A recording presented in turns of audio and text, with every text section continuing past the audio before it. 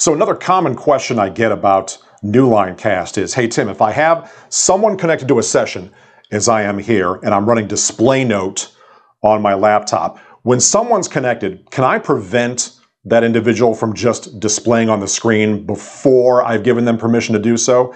And the answer is yes. But let me show you what I'm talking about here, because as I said, I'm connected to a session.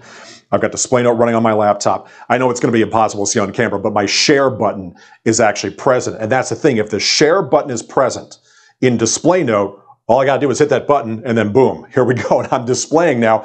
And I didn't need permission to do that. So the way to prevent that, if I hit the menu button here in the corner, head back home.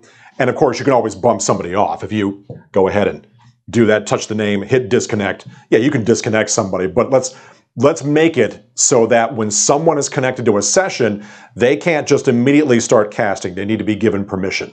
The way we do that is we go down here to settings, session management, moderator mode. You want moderator mode to be on.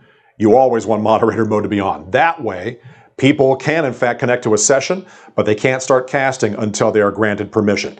Now, because I made that change, it gave me a new session ID. So I'm going to go ahead and put that session ID into the box. And then I'll reconnect. And it's going to get my name up here.